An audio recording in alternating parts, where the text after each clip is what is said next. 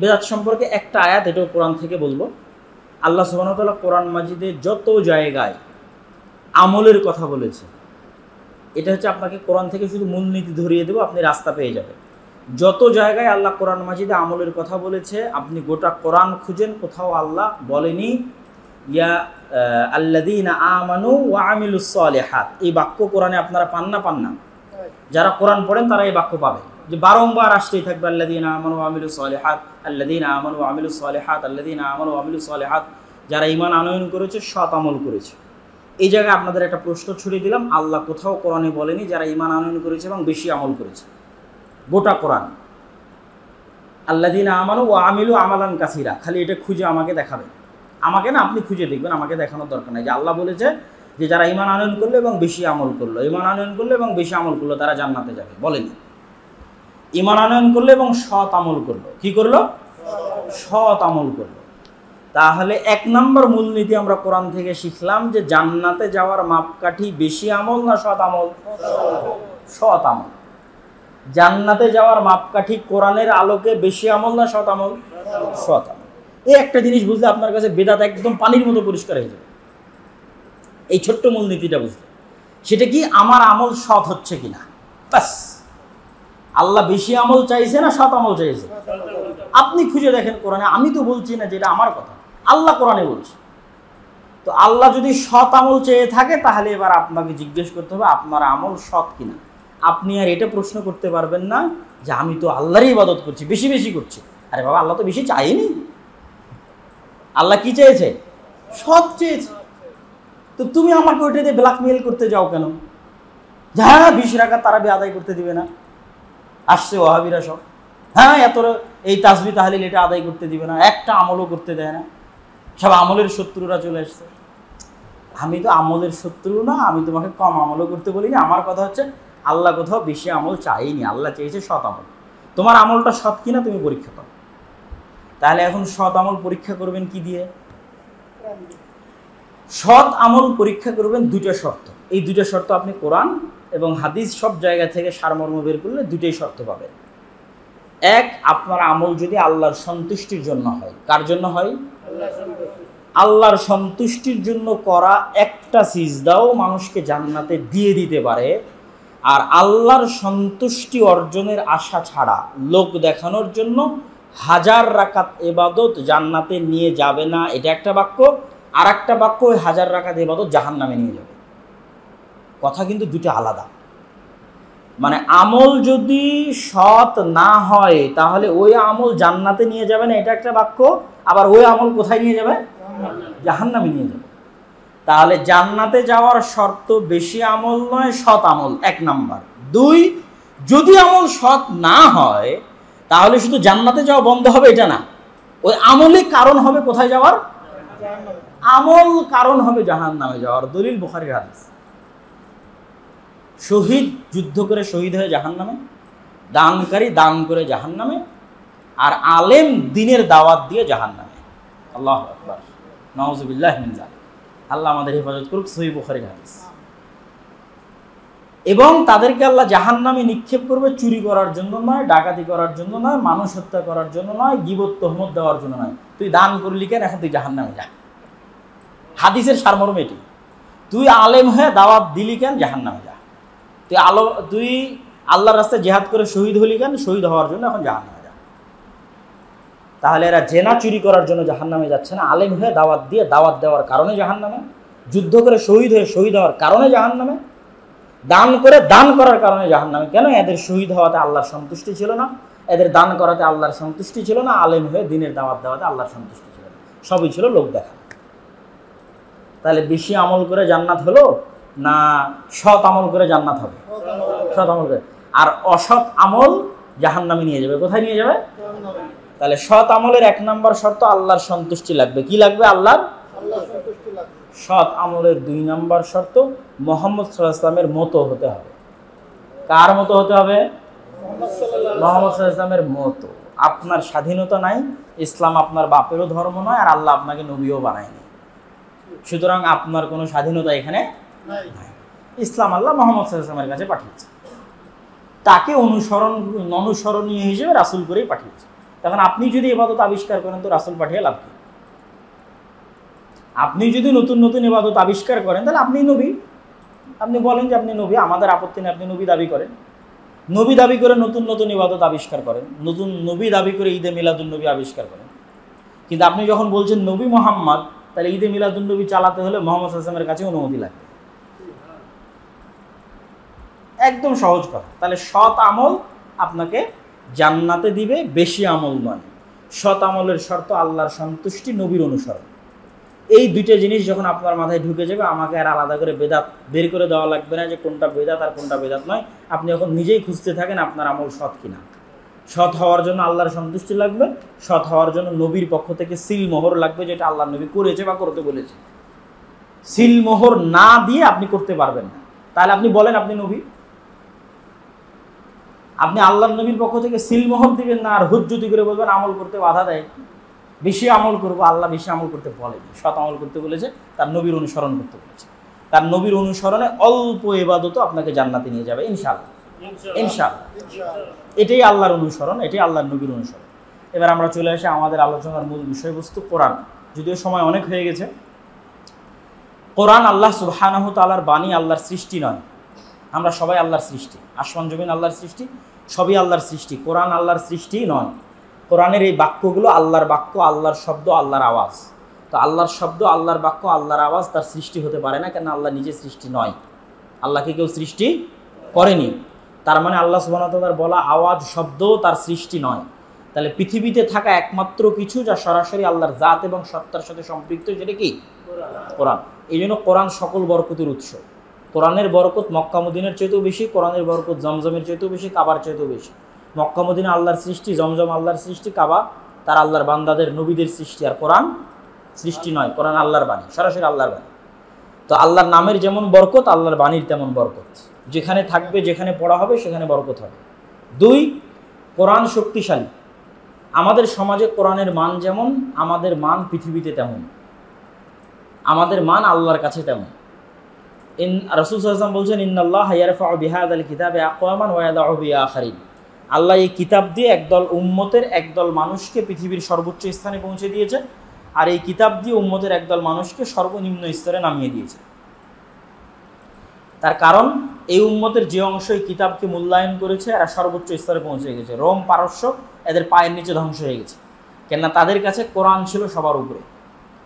আর আমাদেরকে রাত দিন মানুষ হত্যা করতেছে, মারতেছে, আমাদের কোনো মান সম্মান নাই, ইজ্জত নাই কেন? আমাদের কাছে কোরআনের মূল্য নেই। এবং এটা আমি যদি আপনাকে আরও ক্লিয়ার করে বলি, যে কোরআন যদি আমরা ছেড়ে দিই, কোরআন যদি আমাদের বাসা বাড়িতে পরিত্যক্ত হয়ে যায়, আমাদের সমাজে পরিত্যক্ত হয়ে যায় মানে সমাজের কেউ কোরআন পড়ে না, গ্রামের কেউ পড়ে না, বাড়িতে কেউ পড়ে না, দেশে কেউ পড়ে না, মসজিদে কেউ পড়ে না, কেউ জানারও চেষ্টা করে না, কেউ বুঝারও চেষ্টা করে না, তথা কোরআন পরিত্যক্ত কিতাব আপনার সমাজে, আপনার বাড়িতে, আপনার এলাকায়, আপনার দেশে। তাহলে আমরা আল্লাহর গজবের মুখাপেক্ষী, আল্লাহর গজবের অপেক্ষায়, আল্লাহর আজাবের অপেক্ষায়। এবং আল্লাহর আজাব আর আল্লাহর গজব মানে আমরা মনে করি যে ভূমিকম্প, ঝড়, বৃষ্টি, বন্যা, ভুল কথা। এই উম্মতের উপর ভূমিকম্প, বন্যা এই ধরনের আজাব আসবে না, এটা আল্লাহর নবী আল্লাহর কাছে দোয়া করে নিয়ে নিয়েছে। যে আল্লাহ, আপনি আমার উম্মতকে প্রাকৃতিক দুর্যোগ দিয়ে ধ্বংস করিয়েন না। আল্লাহ এই দোয়া কবুল করেছে। এই জন্য নূ আলাইসাল্লামের কমের মতো বন্যা দিয়ে উম্মতকে ধ্বংস করা হবে না। এই জন্য লুত আলাইসাল্লামের কমের মতো আপনার শহরকে উল্টিয়ে দেওয়া হবে, আসমান থেকে আগুনের পাথর বর্ষণ করা হবে, এটা না। এটা মনে করিয়েন না আজাব। তাহলে কোরআন পরিত্যাগ করলে আজাব কি? যেটা আল্লাহ কবুল করেনি, আল্লাহর নবীর দোয়া। সেটা কি আপনাদের উপর বিধর্মীদের চাপিয়ে দেওয়া হবে। ওরা আপনাদের পিটাবে, মারবে, গুলি করবে পাখির মতো, জবাই করবে অমানুষের মতো এবং বম বম মারবে একদম কাপুরুষের মতো। আপনাদের জীবনের কোনো মূল্য থাকবে না পৃথিবীতে, এটাই আজাব, এটাই গজব। তাহলে মায়ানমারের রোহিঙ্গাদের উপর আল্লাহ বৌদ্ধদের চাপিয়ে দিয়েছে, এটা তাদের উপর গজব। আর আল্লাহ নবীর ওই হাদিসকে যদি সামনে রাখি, তাহলে সারমর্ম কি দাঁড়ায়? রোহিঙ্গাদের কাছে আল্লাহর কিতাব যেমন, রোহিঙ্গাদেরকে আল্লাহ তেমন বানিয়ে দিয়েছে। বুঝেননি মনে হয় আমার কথা? তাদের সমাজে, তাদের দেশে আল্লাহর কিতাবের মূল্য যেমন, আল্লাহ তাদেরকে তেমনই বানিয়ে দিয়েছে। ফিলিস্তিনিদের কাছে আল্লাহর নবীর সুন্নত, আল্লাহর নবীর কিতাবের মূল্য যেমন, আল্লাহ তাদেরকে তেমন বানিয়ে দিয়েছে। এবং এইভাবে আল্লাহ এই উম্মতের বহু জায়গায় গজব এবং আজাব পাঠিয়েছে। স্পেনে দেখেন স্পেনে আটশো বছর মুসলমানেরা ছিল। কি নির্মমভাবে স্পেন থেকে মুসলমানদের বিতাড়িত করা হয়েছে? কীভাবে আগুন দিয়ে পুড়িয়ে হত্যা করা হয়েছে? এটা আল্লাহর আজাব গজব।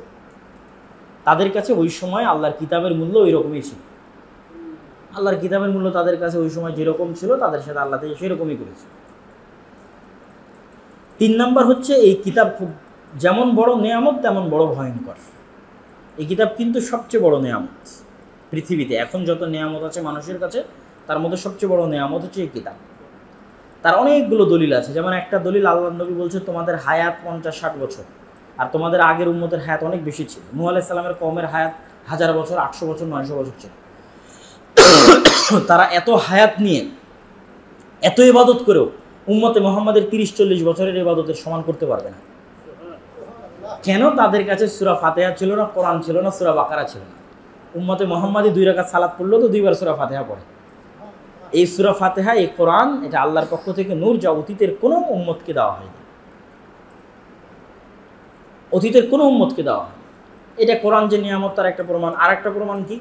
রমজান মাস সর্বশ্রেষ্ঠ, এত বরকত, এত রহমত কোরআনের ওসিলায় ওই মাসে কোরআন অবতীর্ণ হয়েছে এই জন্য।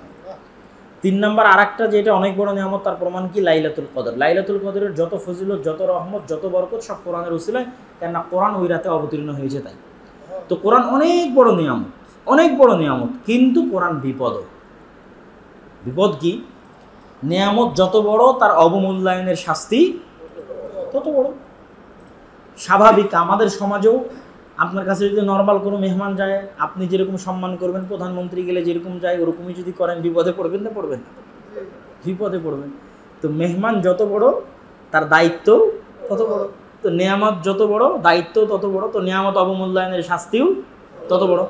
আরও একটা কারণে কোরআন ভয়ঙ্কর, সেটা হচ্ছে কিয়ামতের মাঠে আল্লাহ সুবাহতাল্লাহ মানুষকে অপরাধী বা নিরাপরাধ প্রমাণ করার জন্য যাদেরকে সাক্ষী হিসেবে পেশ করবেন, যাদেরকে কথা বলার সুযোগ দিবেন, তাদের মধ্যে মানুষের হাত, মানুষের পা। মানুষের হাত, মানুষের পা, মানুষের বিরুদ্ধে পক্ষে বলবে। তাসবি গুনলে পক্ষে বলবে। বুঝলেন আল্লাহর হাতে দান, আল্লাহর রাস্তায় দান করলে পক্ষে বলবে, গুনাহ করলে সেটাও বলবে। দুই নম্বর হচ্ছে জমিন। যে আল্লাহ এই জমিনকে বড় বড় গাছ উৎপন্ন করার, টনকে টন আলু উৎপন্ন করার, মনকে মন ধান উৎপন্ন করার, আর বিশাল বিশাল আম, ফজলি সব উৎপন্ন করার শক্তি দিয়েছে। কথা বলার শক্তি দিতে পারবে না? পারবে। আজকে যেই জমিন এত গাছ উৎপন্ন করছে, এই জমিন একদিন কথা বলতে পারবে। তার প্রমাণ হচ্ছে তার এই গাছ উৎপন্ন করা, এটাই প্রমাণ। তার যদি আজ গাছ উৎপন্ন করার শক্তি থাকে, কাল আল্লাহ চাইলে কথাও বলার শক্তি পাবে সে। তো দুই নম্বর, আল্লাহ তাহলে জমিনকে দিবে, আপনার বিরুদ্ধে অথবা আপনার পক্ষে বলার জন্য। এই রকম আপনাকে কাঠগড়ায় দাঁড় করিয়ে, যাদেরকে আপনার বিষয়ে মন্তব্য করার সুযোগ দিবে, তাদের মধ্যে একটা হচ্ছে কোরআন। তথা প্রত্যেক মানুষের বিষয়ে কমেন্ট করার সুযোগ কোরআন পাবে। প্রত্যেক মানুষের বিষয়ে কমেন্ট করার সুযোগ যেমন তার দুই হাত, তার দুই পা পাবে। প্রত্যেক মানুষের বিষয়ে কমেন্ট করার সুযোগ যেমন জমিন পাবে, সেরকম প্রত্যেক মানুষের বিষয়ে কমেন্ট করার সুযোগ কে পাবে? কোরআন পাবে। এই যে আল্লাহ নবী হাদিসে বলেছে আল কোরআন হজ্জাতুল্লাকুম আও আলাইকুম। দেখো, কোরআন হয় তোমার পক্ষে সাক্ষী দিবে না বিপক্ষে। কেননা কোরআনের সুযোগ আসবে কিয়ামতের মাঠে আপনার বিষয়ে কথা বলা তাহলে কোরআন মূল্যায়ন করলে আপনি অনেক বড় নিয়ামতের মধ্যে আছেন। কিন্তু কোরআন যদি পরিত্যাগ করে দেন, না শিখেন, না পড়েন, তাহলে কোরআন আপনার বিরুদ্ধে চলে গেল না? বিরুদ্ধে চলে গেল। আমরা কোরআন পড়ার কথা বললে, কোরআন শিখার কথা বললে মানুষ মনে করে ছোট বাচ্চাদের শিখতে হবে। অনেক বড় ভুল ধারণা। এটা কেন ভুল ধারণা? কোরআন যখন প্রথম অবতীর্ণ হয়, তখন আল্লাহর নবীর বয়স কত? চল্লিশ। কোরআন যখন প্রথম অবতীর্ণ হয়, খাদিজা রেজাল্লাহ তালানার বয়স কত? পঞ্চান্ন। তাহলে খাদিজা রাজিয়াল্লাহ তালানহা যখন কোরআন শিখছেন, কোরআন মুখস্থ করছেন, কোরআন জানছেন, তখন তিনি পঞ্চান্ন, ষাট বছর বয়সের বৃদ্ধা। আর আবু বকর, ওমর, তালাহা, জুবাইর, আব্দুর রহমান বিন আউফ আব্বাস, হামজা। আব্বাস আর হামজা আল্লাহ নবীর চাচা রাজিয়াল্লাহ তালানহ চাচার বয়স ভাতি যাচ্ছে বিষয় না কম হয়? বিষয় তাহলে প্রথম লেভেলে যারা আল্লাহ নবীর সাথে ইমান আনয়ন করেছে আল্লাহ নবীর বন্ধু বান্ধব চাচা আল্লাহ নবীর আশেপাশের তারা বৃদ্ধ বয়সে কোরআন শিখেছে। তার মানে এই উম্মতের প্রথম অংশ যারা কোরআন শিখেছে তারা ছোট বাচ্চা না বৃদ্ধ? তাহলে আবু বকর ওমর যদি বৃদ্ধ বয়সে কোরআন শিখে তাহলে আপনি আপনার বাচ্চাকে মাদ্রাসায় ভর্তি করে দিয়ে পার পেয়ে গেলেন? হ্যাঁ মা ছেলে মাদ্রাসায় ভর্তি করে দিয়ে শেষ। আর আমাকে কোরআন শেখা লাগবে না। বাচ্চাকে মক্তবে পাঠিয়ে দিয়েছে আমাকে আর কোরআন শেখা লাগবে আবু বকর ওমরের চাইতে আপনি বড় ইমানদার নন। আর খাদিজার চাইতেও আপনার স্ত্রী বড় ইমানদার নয়। তাহলে প্রথম পর্বটা বৃদ্ধ বয়সে কোরআন শিখেছে। তারপরে না তাদের ছেলে মেয়েরা যারা আছে তারা ছোট। আব্বাস যদি চাচা হয় তো চাচার ছেলে আবদুল্লাহ বিন আব্বাস ছোট, ওরা পরে আসছে। প্রথমে যারা শিখেছে তারা বৃদ্ধ অবস্থায় শিখেছে, বয়স্ক অবস্থায় শিখেছে। শিখে তারা এটার প্রচার করেছে। ওমর, আবু বকর জিল্লাহ তালানো তারা বয়স্ক অবস্থায় কোরআন শিখে কোরআন প্রচার করেছে। তাহলে আপনি তিরিশ চল্লিশ বছর বয়সের অজুহাত দিয়ে পার পারবেন না। তারপরের পয়েন্ট কি? কোরআন শুধু মোহাম্মদ সাল্লামের জন্য নয় শুধু মাদ্রাসার ছাত্রের জন্য নয় কোরআন তাবিজ কবজ বানিয়ে বিক্রি করার জন্য নয় কোরআন চুমু দেওয়ার জন্য বুকে লাগানোর জন্য নয় কোরআন ওই ভাড়া করে ছাত্র ভাড়া করে নিয়ে এসে পড়ানোর জন্য নয়। কথা কি আমার বুঝতে পারছেন? মাদ্রাসা থেকে ছাত্র ভাড়া করে নিয়ে এসে পড়লে আপনার দায়িত্ব হয়ে গেল কোরআনে হ্যাঁ? আর একজন পড়ে আপনি নেকি পাবেন? কোরআন আপনার পক্ষে চাকরি দিবে। তাহলে কোরআন শুধু মাদ্রাসার ছাত্রের জন্য নয়, তাবিজ বানিয়ে বিক্রি করার জন্য নয়, বুকে লাগানোর জন্য, চুমু দেওয়ার জন্য বা চাদর দিয়ে মুড়িয়ে তুলে রাখার জন্য বা মাদ্রাসার ছাত্র ভাড়া করে নিয়ে এসে পড়ার জন্য নয়। কোরআন হুদাল্লিনাস প্রত্যেক আদমের সন্তানের কাছে পাঠানো হয়েছে কোরআনকে। আফ্রিকার কালো, ইউরোপের সাদা, ইন্ডিয়ার হিন্দি, বাংলাদেশের বাঙালি ডোমচামার মেথরমুচি ব্রাহ্মণ ক্ষত্রিয় বৈশ্য শূদ্র, হিন্দু, বৌদ্ধ, খ্রিস্টান আদমের সন্তান বলতে যা বোঝায় সবার কাছে কোরআন পাঠানো হয়েছে মাধ্যম মোহাম্মদ সাল্লাম মোহাম্মদ সাল্লাম তেইশ বছর পরিশ্রম করে কোরআনটা আল্লাহর কাছ থেকে রিসিভ করেছেন, পাঠানো হয়েছে আপনাদের সবার জন্য। আপনাদের সবার সবার জন্য কোরআন পাঠানো হয়েছে হুদাল্লিন্নাস এই জন্য কোরআন একাই বেশি, যত মানুষকে হেদায়েত করতে পারবে, আমরাও পারব না। আপনাদের যত বড় বড় বক্তা আছে, সেটা ডাক্তার জাকির নাইকের কথা বলেন, দেলোয়ার হোসেন সাইদি সাহেব যিনি মারা গেলেন রাজমাল্লাহ তারা কথা বলেন তারা হাজার হাজার এরকম দেলোয়ার হোসেন সাইদি লক্ষ লক্ষ এরকম জাকির নাইক যত মানুষকে হেদায়েত করতে পারবে, তার চেয়ে বেশি হেদায়েত করতে পারবে কোরআন একাই যদি মানুষ পড়ে। যদি মানুষ। কেন এর মধ্যে হেদায়েত রাখা আছে হুদাল্লিন্নাস মানুষের পথ দেখানোর জন্য। আর এটা যে আপনাদের জন্য আরও একটা উদাহরণ দিয়ে বুঝাই, আপনাদের বুঝিয়ে বলার জন্য, আর আর একবার এই বক্তব্যের মধ্যে বললাম যে আদম আলাইসাল্লামকে যখন জান্নাত থেকে নামিয়ে দেওয়া হয়, তখন আল্লাহ বললেন, ইবলিস তোমার শত্রু। ইবলিস তোমার আর তোমার বংশধরকে পথভ্রষ্ট করার চেষ্টা করবে। তবে আমার পক্ষ থেকে নবী যাবে, রাসূল যাবে, কিতাব যাবে। তোমার বংশধরেরা যদি আমার নবী, রাসুল আর কিতাবের অনুসরণ করে, ইবলিসের ষড়যন্ত্র থেকে বেঁচে যাবে। তা আল্লাহর এই কথাই কি বুঝায়? যে কোরআন শুধু মাদ্রাসার ছাত্রের জন্য? ইবলিসের ষড়যন্ত্র থেকে বাঁচার জন্য সব মানুষের জন্য। সব মানুষের জন্য। আদমের সকল সন্তানের জন্য। নবী, রাসুল আদমের সকল সন্তানের জন্য, কোরআনও আদমের সকল সন্তানের জন্য। কোরআনের ফজিলতে কয়েকটা হাদিস বলে আমাদের বক্তব্য শেষের দিকে চলে যাব। এক রাসুল্লাহ সাল্লাহ আলী ওয়াসাল্লাম বলছেন, ইন্না আহলাল্লাহ আহলুল কোরআন। দুনিয়াতে মানুষের খাস লোক থাকে। বলে অমুকে এমপির লোক, অমুকে মন্ত্রীর লোক, অমুকে প্রধানমন্ত্রীর খাস লোক, এর সাথে ঝামেলা করিস না, এই হচ্ছে এসপির লোক, এই হচ্ছে ওসির লোক, বলে না বলে না? আর আবার আলেমুল আমাদের মধ্যে গ্রুপিং হলে বলে কি, রাজ্জাক গ্রুপের লোক। তো আল্লাহ নবী হাদিসে বলছে যে পৃথিবীতে কিছু মানুষ আছে যারা আল্লাহর লোক। কার লোক? আল্লাহর যাদেরকে কোরআন রাতে ঘুমাতে দেয় না। আনিল কোরআনের ভালোবাসায় তাদের পার্শ্বদেশ রাতের বেলা বিছানা থেকে আলাদা হয়ে যায়। যদিও আমি হয়তো বলছি, তার মানে এই নয় যে আমি এরকম খুব ভালো, এরকম এরকম কিছু সেটা আমি বুঝাতে চাচ্ছি না। আল্লাহ সুবাহতাল্লাহ সবাই গুনাহগার, সবাইকে ক্ষমা করুক, কিন্তু কোরআনের মহত্ব বুঝাতে চাচ্ছি। যে আল্লাহর লোক দুনিয়াতে কারা? যাদেরকে রাতে কে ঘুমাতে দেয় না? কোরআন ঘুমাতে দেয় না। আমার দাদাকে দেখতাম যে রাত দুটা বাজলেই ঘুম শেষ। কোনো দিন এরকম পাইনি যে কোনো রাতে তিনি রাত জেগে কোরআন তেলাওয়াত করেননি। খুব উঁচু আওয়াজে কোরআন তেলাওয়াত করতেন। আর একটা ফজিলত বলি কোরআনের। দুই নম্বর হচ্ছে কোরআনের পাঠক যদি জান্নাতে প্রবেশ করে, তাহলে আল্লাহ তাআলার পক্ষ থেকে ফেরেস্তারা কোরআনের পাঠককে জান্নাতে বলবে, ইকরা ওয়ারাত্তিল ওয়ারতাকি। হে কোরআনের পাঠক, আজ জান্নাতে তুমি কোরআন পড়ো আর জান্নাতের উপরের স্থানের দিকে উঠতে থাকো। ওইখানে গিয়ে তোমার জান্নাতের শেষ স্থান হবে তোমার সম্মানের মর্যাদার ফ্যাসিলিটি সুযোগ সুবিধার যেখানে গিয়ে তোমার কোরআন পড়া শেষ হবে। কোরআন এই এই হাদিসটা যদি আপনি বুঝতে চান, আপনাকে তার আগে আর একটা জিনিস বুঝতে হবে। ভূমিকা স্বরূপ। সেটা কি? সেটা যে জান্নাতে ফ্যাসিলিটির পার্থক্য আছে। রাজশাহীতে কোনো ফাইভ স্টার হোটেল নাই। সবগুলো থ্রি স্টার উত্তরবঙ্গে একটাই ফাইভ স্টার হোটেল আছে বগুড়াতে। তো three star four star five star হোটেলের মধ্যে ফ্যাসিলিটির পার্থক্য আছে। সুযোগ সুবিধার পার্থক্য আছে। জান্নাতে যখন জান্নাতিরা যাবে, তখন সুযোগ সুবিধার পার্থক্য থাকবে। আর এই সুযোগ সুবিধার পার্থক্যের জন্য জান্নাতিরা জান্নাতে যাওয়ার পরে জান্নাতিদের সবচেয়ে বড় আফসোস হবে, কেন দুনিয়াতে আরেকটু কোরআন পড়লাম না? কেন দুনিয়াতে আল্লাহর আরেকটু জিকির করলাম না? আজকে জান্নাতের এই এই সুবিধাগুলো আমি পাচ্ছি না। একদম আরেকটু খোলা করে উদাহরণ দিয়ে বলি, একদল মানুষ জান্নাতে যাবে, তাদের লেভেল হচ্ছে তারা জান্নাতিদের খাদে সেও জান্নাতি, কিন্তু সে জান্নাতিদের এটাও জান্নাতের একটা লেভেল। জান্নাতের একটা ফ্যাসিলিটির লেভেল, সেও জান্নাতি। জান্নাতিদের খাবে। আবার আরও একজন জান্নাতি যা আল্লাহর প্রতিবেশী আল্লাহর নবীর প্রতিবেশী দুইজনের ফ্যাসিলিটি কখনোই সমান হবে না। তাহলে জান্নাতে গিয়ে যদি আপনি আপনার ফ্যাসিলিটির মান বাড়াতে চান তাহলে দুনিয়াতে বেশি বেশি কোরআন পড়তে হবে কোরআন তেলাওয়াত করতে হবে কোরআন বুঝতে হবে বোঝার চেষ্টা করতে হবে।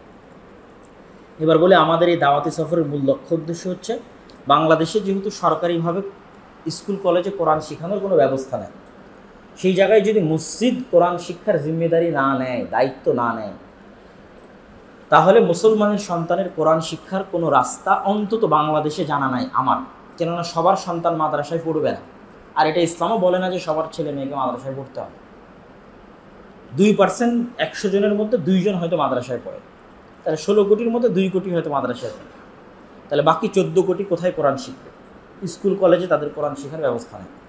তাহলে এখন যদি মসজিদ কোরআন শিক্ষার ব্যবস্থা না করে তাদের কোথায় কোরআন শিক্ষার ব্যবস্থা হবে? আর আল্লাহর নবীর যুগে মসজিদ শুধু পাঁচ অক্ত সালাতের জন্য প্রতিষ্ঠা করা হয়নি, বরং মসজিদকে মার্কাজুল ইলিম আল্লাহ নবী কোরআন মসজিদে শেখাতেন, হাদিস মসজিদে শেখাতেন। এবং সেই ধারাবাহিকতা বজায় রাখতে গিয়ে আজও মক্কার মসজিদে আর মদিনার মসজিদে খালি সালাত নয়, বরং সালাতের পরে মসজিদে নবী আর মক্কার মসজিদের দ্বিতীয় বড় কাজ হচ্ছে শিক্ষা। দেখবেন প্রতি পিলারে পিলারে টিচার বসে আছে, কোরআন শিখাচ্ছে দার্স চলতেছে, কেন ওটা ওই যুগ থেকে আল্লাহ নবীর যুগ থেকে। তথা মসজিদের দ্বিতীয় বড় জিম্মেদারি কি? শিক্ষা। তাহলে মসজিদ শুধু পাঁচ অক্ত সালাতের পর যদি বন্ধ হয়ে যায়, তাহলে এটা জীবিত বা অ্যাক্টিভ মসজিদ নয়। সে তার আর একটা বড় জিম্মেদারি, কোরআন শিক্ষার দায়িত্ব পালন করেনি। এই জন্য মসজিদে কোরআন শিক্ষার ব্যবস্থা থাকা জরুরি, খুবই প্রয়োজন। এবং ইসলাম ধর্মটা শিক্ষা কেন্দ্রিক। যত জ্ঞান ছড়াবেন, তত ইসলাম টিকে থাকবে। কিন্তু আমাদের দুঃখজনক হলেও কি সত্যি জানেন? যেমন গতকাল বাগমারা উপজেলায় আটটা মসজিদে আমি সারাদিনে গেছি আটটা মসজিদের আল্লাহর হস্তে কোনো মসজিদে মক্তব নেই। কিন্তু এরকম তিন চারটা মসজিদ, অন্তত তিনটা মসজিদ এরকম পাইছি যেখানে এসিও আছে, টাইলসও আছে। তার মানে তাদের টাকা নেই, এই কথা ভুল। যদি এসি টাইলস লাগানোর টাকা থাকে, তাহলে মক্তব চালানোর টাকা থাকবে না? থাকবে। কিন্তু এই জিনিসটা তাদের মাথায় নাই যে কোরআন শিখতে হবে বা শেখাতে হবে। এই দায়িত্ব বোধটা তাদের মধ্যে নেই। কিন্তু এই জিনিসটা ইহুদি খ্রিস্টান, ইউরোপ, আমেরিকা খুব ভালোভাবে বুঝে। যে শিক্ষা হচ্ছে মূল। এই জন্য যাদের এরকম মসজিদ নাই, ব্রাকের এরকম মসজিদ নাই, তারপরও ব্রাক সারা বাংলাদেশে পঁচিশ হাজার প্রাথমিক স্কুল চালায়, এক জরিপ অনুযায়ী। মানুষের জমি ভাড়া নিয়ে, ভাঙ্গা বেড়া, ভাঙ্গা টিন দিয়ে। খ্রিস্টানেরা কোনো দেশে গেলে আগে গির্জা বানায় না, আগে স্কুল বানায়। ওরা চায় একটা দেশের শিক্ষা সিস্টেমকে দখল করতে। এই জন্য আমাদের দেশেও টপ লেভেলের স্কুল, কলেজগুলো খ্রিস্টানদের দ্বারা পরিচালিত। আমি যদি আরও খুলে বলি আপনাকে যে আমি তো ইংল্যান্ডে ছিলাম, যুক্তরাজ্যে ছিলাম, এক বছর থাকলাম। যুক্তরাজ্যে বুর্জ খলিফা নাই। মানে বুর্জ খলিফার মতো উঁচু ভবন যুক্তরাজ্যে নাই। এমনকি যুক্তরাজ্যের বেশিরভাগ নব্বই পার্সেন্ট শহরে একতলা থেকে দুইতলা বাড়ি। একশোটা থেকে আটানব্বইটা বাড়ি একতলা, দুইতলা। বড় বড় দুই একটা শহরে হয়তো পাঁচ দশ তালা তার পনেরো বিশ তালা তিরিশ তালা সর্বোচ্চ থাকতে হবে তাহলে বুর্জ খলিফা বানিয়ে পৃথিবী শাসন করা গেলে দুবাই শাসন করতে আর বড় বড় রাস্তা বানিয়ে পৃথিবী শাসন করা গেলে সৌদি শাসন করত। সৌদির যে রাস্তা বাপরে বাপ, ওই রাস্তার ধারে কাছে এখনও ইংল্যান্ড যেতে পারবে না। ইংল্যান্ডের রাস্তা আপনাদের বাংলাদেশেরও অনেক রাস্তার চাই চিকন ঢাকার জ্যামের মতোই লন্ডনে জ্যাম হয়, উনিশ বিশ। তাহলে ইংল্যান্ড আর ইউরোপ আর আমেরিকা, তারা পৃথিবী শাসন করতেছে বুর্জ খলিফা বানিয়েও নয়, দুবাই বিমানবন্দর বানিয়েও নয়, আর বড় বড় রাস্তা বানিয়েও নয়। তাহলে তাদের কাছে আছে কি? তাদের কাছে আছে অক্সফোর্ড, ক্যামব্রিজ, হার্ভার্ড। এর মতো নামি দামি শিক্ষা প্রতিষ্ঠান। শিক্ষার লেভেলে আপনি তাদের কাছে পৌঁছতে পারবেন না। যদি বুর্জ বুর্জ খলিফার মতো বিশাল বিল্ডিং আর সৌদির মতো বিশাল রাস্তা বানিয়ে পৃথিবী শাসন করা যেত, দুবাই আর সৌদি শাসন করত। কিন্তু পৃথিবী শাসন করা যায় অক্সফোর্ডের মতো শিক্ষা প্রতিষ্ঠান দিয়েই। ওই শিক্ষা প্রতিষ্ঠান যেই দিন মুসলমানদের যতদিন না হবে, ততদিন তারা পারবে আজকে আমাদের এই বাংলাদেশকে নিয়ে যদি ইউরোপে বসিয়ে দেন, আর এই মসজিদগুলো যদি ইউরোপের হাতে দিয়ে দেন, তাহলে আগে মসজিদের শিক্ষা লেভেল হবে সর্বোচ্চ। মসজিদে এসি লাগানোর আগে টাইলস লাগানোর আগে শিক্ষার মান থাকবে হাই লেভেলে এটা তারা বুঝে খুব ভালোভাবে। আর আমরা মুসলমানেরা কি মনে করি? স্বর্ণ দিয়ে মসজিদ বানিয়ে দিলে মনে হয় সবচেয়ে ভালো।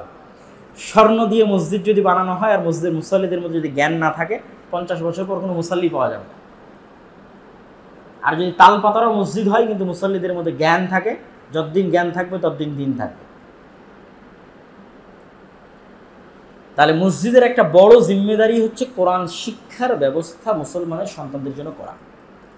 এটা আপনাদের মধ্যে ইন্সপায়ার করার জন্য, উৎসাহ করার জন্য এটা আমার সফর। আমি মানুষ যদি আমাকে জালসার জন্য ডাকতো, তাহলে সেখানে গেলে আমাকে টাকা পয়সাও দিত, ভালো খাবার দাবারও দিত, এসি গাড়িতেও যেতে পারতাম। কেন পথ খরচ পাথেও থাকতো। তো বৃষ্টির মধ্যে ভিজে মোটর সাইকেলে মসজিদে মসজিদে ঘোরা, এটার জাজবাটা কি? এটার জাজবাটা হচ্ছে যে একজনও যদি উৎসাহিত হয়, একটা মসজিদেও যদি আমার ওসিলায় মক্তব চালু হয়, কোরআন শিক্ষার ব্যবস্থা হয়, একজনের মুসলমানের সন্তানও যদি কোরআন শিখে, তো এটা আমার নাজাতের ওসিলা হতে পারে। এবং এই কাতারে আপনাদের সামিল হতে উৎসাহিত করার জন্য আমার এই সফর। এই কাতারে আপনাদের উৎসাহিত হওয়া করার জন্য দুই একটা বাক্য বলি। এক নম্বর বাক্য, আপনি আপনার জীবনে যত দাওয়াতি কাজ করেছেন জালসা বলেন সম্মেলন বলেন দল বলেন সংগঠন বলেন মিটিং বলেন মিছিল বলেন আপনার জীবনে যত করেছেন। সেগুলো করে আপনি যা নেকি অর্জন করেছেন আপনি যদি নিজে কোরআন শিখেন আর মুসলমানের একটা সন্তানকেও কোরআনের একটা অক্ষর শিখাতে পারেন আমি বিশ্বাস করি তার চেয়ে বেশি নেকি পাবেন ইনশাআল্লাহ। ইনশাআল্লাহ। তার চেয়ে বেশি নেকি পাবেন। এটা আপনাকে উৎসাহিত করার জন্য একটা বাক্য বললাম। আপনাকে উৎসাহিত করার জন্য আর একটা বাক্য বলি। সাদাকায় জারিয়ার যত রাস্তা দুনিয়াতে আছে তার মধ্যে সবচেয়ে সুন্দর ভালো উপযুক্ত একটা রাস্তা হচ্ছে এইটাই যে আপনি নিজে কোরআন শিখবেন এবং মানুষের কোরআন শিখার ব্যবস্থা করে দিবেন। এটা কি জন্য সাদাকায় জারের সবচেয়ে বড় রাস্তা? আপনার মাধ্যমে যেই শিখুক না কেন ও জীবনে যেখানে গিয়ে নামাজে দাঁড়িয়েও যদি সুরা ফাতেহা পড়ে তা আপনি কবরে গেলেও নেকি পাবেন না পাবেন? না? ইনশাল্লাহ নেকি পাবেন। আপনার মাধ্যমে যারা এরকম শিখলো বা শিখালো তাদের হাত দিয়ে যদি আবার কেউ বের হয় তারও নাকি আপনি পাবেন না পাবেন না। আবার এই যে আমি আজকে আসছি তো আমাকে যে কোরআন শিখিয়েছে, সে নাকি পাবে না পাবে না? অবশ্যই আমরা সবাই যে কোরআন পড়ছি, পড়াচ্ছি, দিন শিখছি, দিনের জ্ঞান ছড়াচ্ছি, এগুলো সবার একটা করে নাকি মোহাম্মদ সাল্লাম আর সাহাবিরা পাবে। কেননা তারা এই কোরআনকে আমাদের কাছে পৌঁছে দেওয়ার জন্য কষ্ট করেছে না করেনি? এই গত চোদ্দশো বছরে এরকম হাজারো মানুষ আছে যারা আমাদের পর্যন্ত এটা পৌঁছে দিয়েছে। আপনারও উচিত ওই কাতারে সামিল হওয়া। মানে সাহাবিদের ওই সাদাকায় জারিয়ার কাতারে সামিল হওয়া। যে আপনিও আর দশটা মানুষের কাছে দিনের জ্ঞান পৌঁছান। আপনিও আর দশটা মানুষের কোরআন শিক্ষার ব্যবস্থা করে দেন। আপনি নিজেও কোরআন শিখেন। তাহলে আপনিও যতদিন পৃথিবী থাকবে, আপনার ওসিলায় যদি কোনো কাজ চলতে থাকে, তাহলে আপনিও আপনার কবরে গিয়ে ওই সাহাবিদের মতো আল্লাহ নবীর মতো এই সাদাকায় জারিয়ার কাতারে সামিল হয়ে গেলেন। আপনার কবরও নাকি যেতে থাকবে। তো এটাই আমাদের দাওয়াত, এটাই আমাদের আহ্বান। আমার জানি না যে এই মসজিদে মক্তব চালু আছে কিনা কেন আমার জিজ্ঞেস করা হয়নি, বা এই মসজিদে প্রয়োজন আছে কিনা, আছে। মাশাল্লাহ বারাকাল্লাহ। যদি চালু থাকে তাহলে আমি উৎসাহিত করব যে কীভাবে শতভাগ এটার থেকে রেজাল্ট বের করা যায়। শতভাগ রেজাল্ট মানে আশেপাশের সবার ছেলে মেয়ে এখানে আসবে, এটা একটা শতভাগ রেজাল্ট তাদেরকে ভালো শিক্ষা দেওয়া হবে, এটা একটা শতভাগ রেজাল্ট তো আশেপাশের হ্যাঁ। মুরব্বীদের শিক্ষার ব্যবস্থা নেই। আজকের বক্তব্য শুনে যদি তাদের অন্তরে মুরব্বী হোক আর যেই যারা উপস্থিত হোক তাদের অন্তরে যদি কোরআন শেখার আগ্রহ জাগ্রত না হয় তাহলে দায়ী তারা আল্লাহর কাছে থাকবে। আমি আমার আমানত পৌঁছে দিয়েছি। আমি আমার আমানত আপনাদের কাছে পৌঁছে দিয়েছি। আচ্ছা আমাদেরকে উনি যে সংবাদটা দিল ভাই যে আমরা যেহেতু সারা দেশে